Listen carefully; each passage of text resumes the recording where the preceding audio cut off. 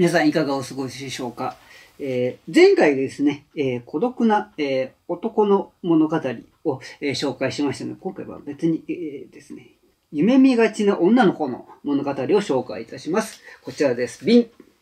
え恋する惑星、え1994年の作品です。監督はウォン・カーワイ。えー、他にですね、ブエノス・アイレス、天使の涙、キムタクが出た2046、2046ですかね、えー、なども撮っています。えー、出演はですね、トニー・レオン、フェイ・ウォン、金城武ブリジット・リン、他ですね。えー、これ、えー、作品がですね、二部構成になってるんですね。で、えー、前半と後半とでそれぞれ、えー、前半が、金、金城武とブリジット・リン、後半がトニー・レオンとフェイ・ウォンの、えー、コンビになってるわけですけど、まあ、テーマはこんな感じになっています。えー女子と男子の香港って感じですね。まあちょっと、えー、若い感じの、えー、香港っていう、それまで香港映画って言うと大体ですね、まあ私たちだとカンフーとかですね、あとミスターブーとか、大体男向けの、えー、バカ映画みたいなのが基本的なあの香港の映画のイメージだったんですけど、この時非常に女子が見るようなおしゃれな雰囲気の映画、突然出たような感じだったんですね。で、これ、1994年の作品ですけれど、実はこの1994年っていうのは、香港はまだ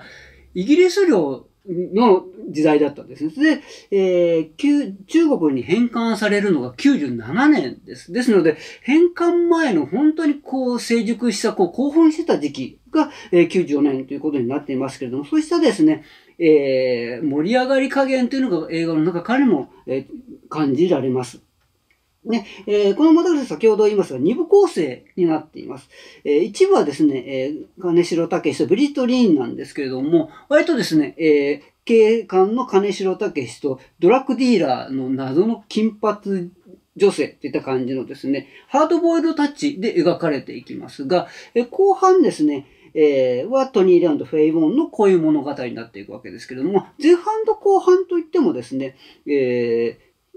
これ時間の割合が、えー、3分の1が前半で3分の2のトニー・ヒョンとブリットリあ、フェイ・ウォンの音楽というか3分の2ぐらいあるんで、ちょっと割合的にはですね、ちょっと違うんですけど、まあその辺はですね、香港映画のスタイルっていう感じですから、香港映画のスタイルって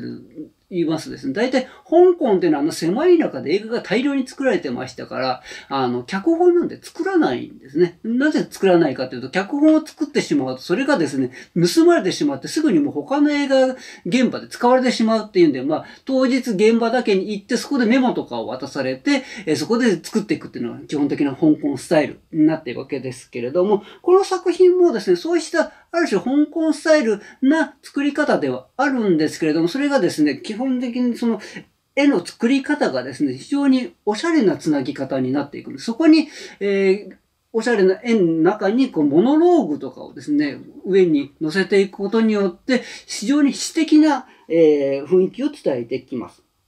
なんでそれで、えー、夢見がちな女の子の物語、えー、第2部の方なんです。これが、意外にですね、えー、前回のバッファロー66のビリーがですね、誘拐をしちゃったような感じで、えー、不思議な感じです今回の方の恋する惑星の方もですね、えー、フェイ・ウォンはですね、ストーカーだという不法侵入っていうようなことを犯してしまうっていうような、え、展開なんですね。えートニー・レオンはですね、警官なんですけれども、それで舞台はですね、街角のハンバーガーショップですね、そこに、えー、フェイ・ウォン働いてるんですけれども、まあそこに来た、えー、トニー・レオンの警官を見てですね、一目惚れしちゃうんですね。で、トニー・レオンはその時、えー、フライトアテンダントと付き合ってるんですけど、フライトアテンダントが最後にこう、別れの手紙をですね、このハンバーガーショップに預けるんです。で去ってしまうんです。その時にその、封筒の中に鍵が入ってたの。家の、トニー・レオンの家の鍵ですね。が入ってたの。これ、フェイ・ウォン勝手に持ってっちゃうんですね。そしてフェイ・ウォンはトニー・レオンの家に入っていって、勝手に自分でですね、自分の思いのように部屋を変えてしまうんですね。模様替えしていってしまう。それが、えー、まあ、ママス&パパスの夢のカリフォルニアの音楽に乗せてですね、なんか非常にいいことのように描かれてるんですよ。